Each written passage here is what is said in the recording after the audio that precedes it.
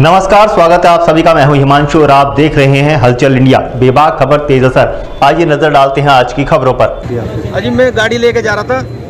सामने जो है ये पुलिस वाले चेकिंग कर रहे थे। वहाँ पर? है यहीं पे थे? तिराहे पे इसमें मंसूरपुर के तिराहे पे। तो लाइट में जो है एक दरोगा जी खड़े थे सामने। उनके जरा सी जो है गाड़ी की ठसक लगी। और मैं एकदम देखते उन्हें एकदम रुक के उतर के और मैंने एकदम से कहा भाई साहब गलती होगी और आप दिखाई नहीं दिए मुझे। और बस उन्होंने तो जो है मारना शुरू कर दिया जी इतना बुरा मुझे मारा मेरी आँख फोड़ रखी जी बिल्कुल देखो।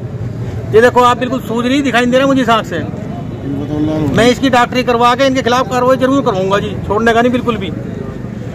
और वो जो पुलिस वाला था उसके नेम प्लेट नहीं थी पता नहीं पुलिस वाला था या इन्होंने गुंडा खड़ा कर रखा था वहाँ बदमाश खड़ा कर रखा था। वर्दी में हाँ जी साहब नहीं बढ़ती तो ऐसी थी पुलिस की थी लेकिन उस पर नेम प्लेट नहीं थी कुछ भी।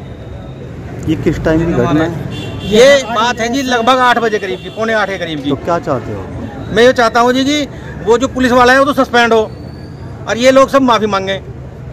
वक्त हो चला है आपसे विदा लेने का कल फिर होंगे हाजिर कुछ नई और ताज़ा खबरों के साथ। तब तक के लिए दीजिए हमें इजाज़त नमस्कार। हमारे यूट्यूब और फेसबुक चैनल को फॉलो और सब्सक्राइब करना ना भूलें।